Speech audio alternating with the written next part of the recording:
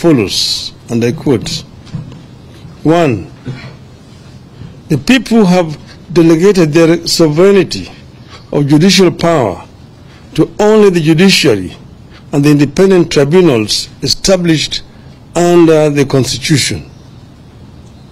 Two, only Parliament can establish a subordinate court or an independent tribunal through an act of Parliament. Three, only Parliament can determine the jurisdiction and functions of a court or independent tribunal. Four, it is also now the law, as determined by our courts, that only the Judicial Service Commission can determine who would be employed to serve in such a tribunal. Five, indeed, Section 13 of the Commissions of Inquiry Act is very clear that an inquiry shall be de- deemed to be a judicial proceeding. This makes it an, an absolute preserve of the judiciary under our Constitution. A president, unlike the past, no longer has power to make any decision on the constitution of a court or an independent tribunal, nor who sits in judgment in such a court or independent tribunal. Yet again, Mr. Ruto is trying to undermine and overthrow the constitution. We wish to state as follows. One, the matter of Shakahola and the growth of cult activities in the nation, Mr. Ruto is as much a suspect as is all the cult pastors from Shakahola and beyond. He owes the people of Kenya an, an explanation before he purports to be trying to solve the problem. Two, the so-called pastors are the people who set up the so-called sanctuary at Ruto's former official residence in Karen as the deputy president. They did not stop there. These so-called pastors proceeded to deliver prophecies and promise miracles about how Ruto would perform as a president. Three, these cultic pastors were among the people who supposedly sanctified State House when Ruto arrived there, pretending to be holier than, than every other Kenyan. They proceeded to pro- prophesy how great his regime would be. Four, these so-called pastors have organized mega prayer rallies attended by so-called prayer warriors that include Mr. Ruto, Mr. Rigathi Gachagua, and their spouses, supposedly to sanctify the land. They ended up defiling the land. Five, these so-called pastors aided the introduction of mandatory fasting that started in 2015 at the DP's residence in Karen and which have been carried over to State House where everyone is compelled to fast every Wednesday regardless of their faith, effectively making State House essentially a Shakahola annex. Six, sometime in May 2022, Mr. Ruto's family claimed to have prayed for impure borehole water at their current residence and turned it into clean when a purification machine had failed. We see no difference between this claim and the outrageous ones made by cult pastors like performing fake miracles and extorting money from believers with the cause like Tuma mbegu ya mia tatu kumi or fast until you meet Christ.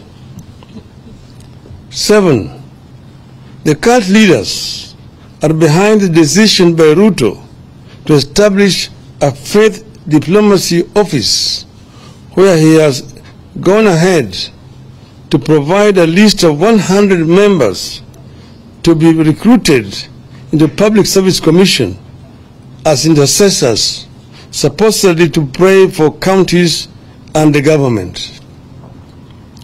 Nobody knows the identity, the qualifications of the so-called intercessors, how they were identified, and where they, they fit in a government where religion and state are separate entities.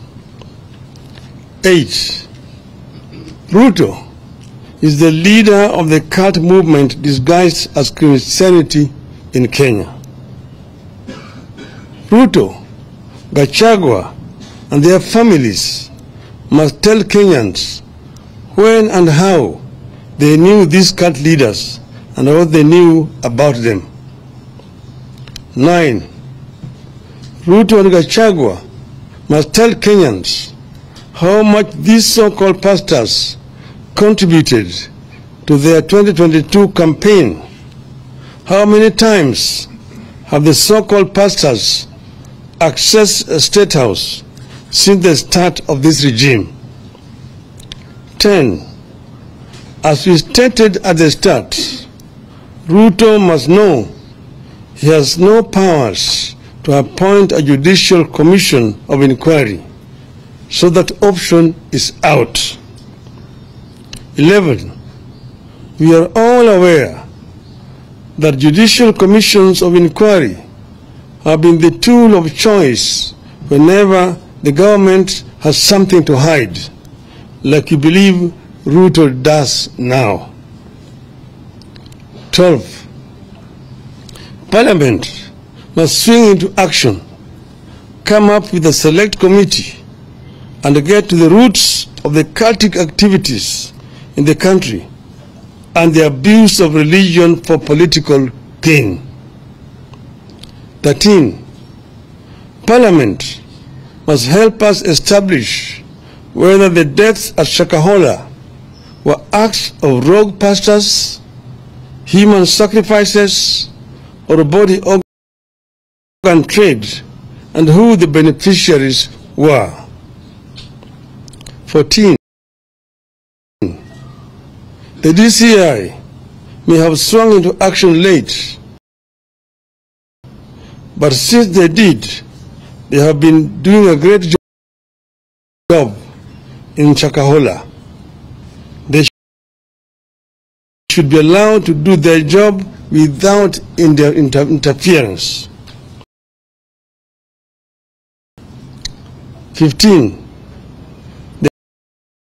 The current blanket restrictions placed on independent observers, including the media and civil society, must be lifted forthwith. 16. The state must give the media full access to the scene of crime and various aspects of the investigations. 17. Going forward, Ruto must commit to draw a clear line between religion and state in this country. He has deliberately merged the two to enable his political survival and as a cover-up for his corruption. 18th. In, on Shakahola, Ruto is as guilty as those he is seeking to investigate. I repeat, is as guilty as those he is seeking to investigate. The blood of those children who starved to death crying for a spoon of water is in Ruto's hands. On our planned protest rallies, we confirm that they are on tomorrow, beginning 6 a.m. on the 2nd of May 2023. As we stated yesterday,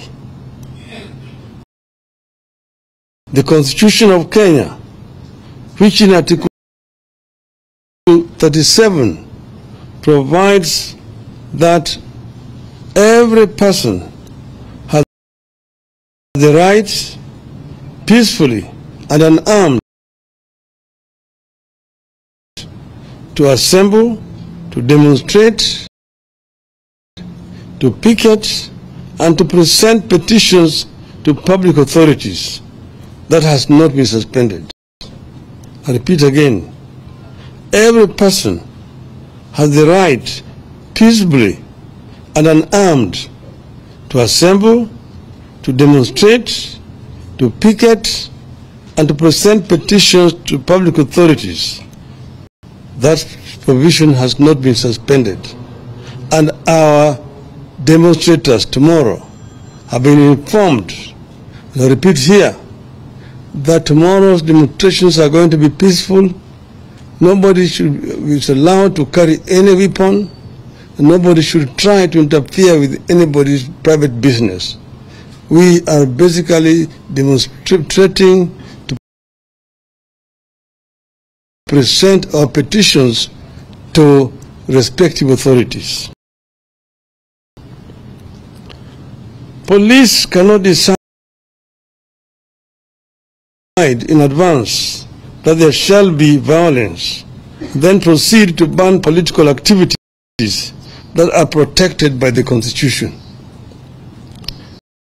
That is the making of a dictatorship. It amounts to a suspension of the Constitution. We will resist. We will resist. As we said yesterday, we shall present a petition to the IEBC, the Office of the President, the National Treasury, and the Public Service Commission. We repeat that the only violence and destruction of property that have taken place during our activities are when the police invade our marches and when Gachaguas hired goons to invade the Kenyatta family farm and stole sheep and cut down trees.